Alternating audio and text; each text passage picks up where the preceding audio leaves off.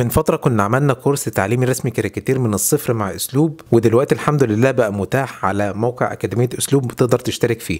بس نصيحة تشترك فيه مش عشان تبقى مشترك وخلاص تشترك فيه يعني تشغل إيدك معاه علشان تقدر تستفاد كويس. دي لها علاقة بالكلام اللي هنتكلمه النهاردة يعني.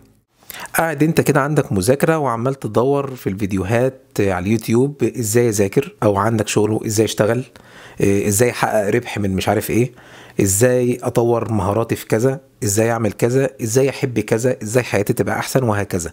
فبيقع قدامك بقى طبعا الفيديوهات ذات المحتوى الهادف اللي انت طبعا بتحبه علشان انت راجل محترم وبتحب المحتوى الهادف وما بتضيعش وقتك قدام أي فيديوهات.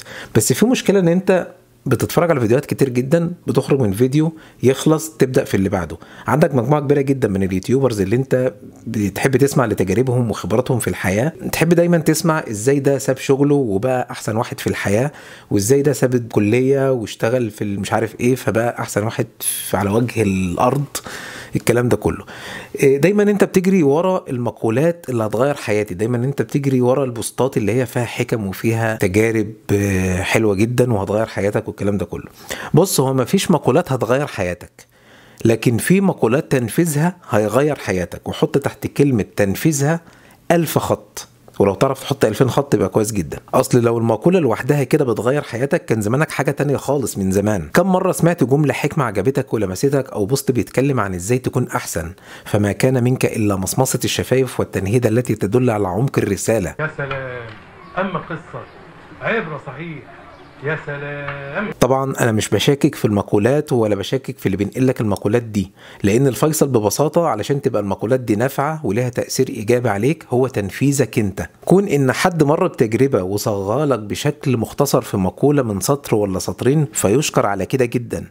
حد تاني شاف المقولة دي وقرر إنه ينقلها لك علشان يعرفك بيها فيشكر على كده برضه لكن الباقي بقى عليك. إيه نظامك بقى؟ انت عرفت انت عرفت ان الصحيان بدري في مش عارف كام فايدة. إيه الأخبار؟ ماشي عرفت. وبعدين؟ التغيير اللي هيحصل في حياتك مش مجرد انك ما كنتش تعرف الحكمة دي وبعدين بقيت تعرفها. التغيير مش هنا لأ. التغيير في تصرفاتك انت. في عيب معين كنت بتعمله واتغيرت وما بقتش تعمله لما عرفت أضراره. مهما كانت عظمة الحكمة اللي بتسمعها من غير تنفيذك أنت ولا حاجة. يعني أنا شايف إن التنمية البشرية كلام فارغ. بس كلام فارغ مش علشان كلامها غلط لكن علشان كلامها الصح من حكم وجمل تحفيزية وأفكار إيجابية وتجارب الآخرين اللي كلنا لازم نكون استفدنا منها. هو كلام فارغ من التنفيذ مجرد كلام بقى مجرد كلام بس. أول ما بدأت فكرة التنمية البشرية والمحاضرات وغير حياتك وهو كلام حلو جدا.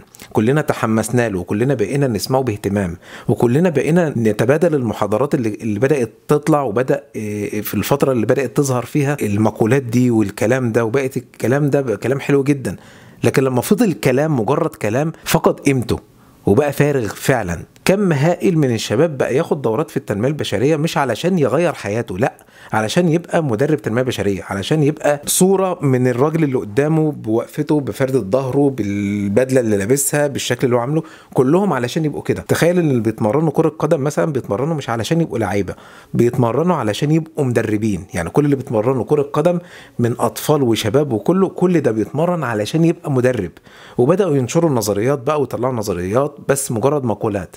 زي مثلا علشان تباصي الكرة مظبوط لزميلك لازم تباصيها ببطن القدم. لو فضلت جملة كده بين قوسين كده عبارة عن جملة ومعلومة بنتنقلها بس من غير ما حد يشغل رجله حد ينفذها في الملعب يبقى ملهاش أي قيمة. مش عيب إن أنت تدور على حاجة بتقولك إزاي تعمل بس العيب إن أنت ما تعملش بعد ما تعرف إزاي تعمل. زي كان في زي نكتة كده عن الاشتراك في الجيم كنت قريتها كده في post على الفيسبوك. واحد بيقول أنا بقالي كام شهر بدفع اشتراك الجيم ومش حاسس بأي فرق فالتاني بيرد عليه ويقول له ليه؟ أنت بتروح كام مرة في الأسبوع؟ فبيقول له إيه ده؟ وأنا لازم أروح. أنا اعرف حد كان بيتعلم الرسم عنده فيديوهات كتير جدا ومشترك في كورسات كتير جدا. وتفتح الموبايل بتاعه تلاقي ابلكيشنات كتير جدا أنا ما أعرفش عنها حاجة.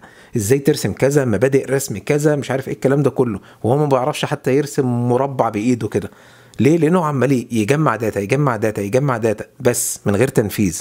كل ده طبعا ولا له أي 30 لازمة. لو عاوز حياتك تبقى أحسن فعلا وعاوز حياتك تتغير بجد انزل من المدرجات. ما تكتفيش بدور الجمهور اللي بيسقف أو الهتيف. النظريات حولها لفعل الجملة مهما كانت جميلة ومهما كان فيها سجع وجناس وكل ألوان البلاغة فيها من غير تنفيذ ملهاش أي لازمة في حياتك فعلا.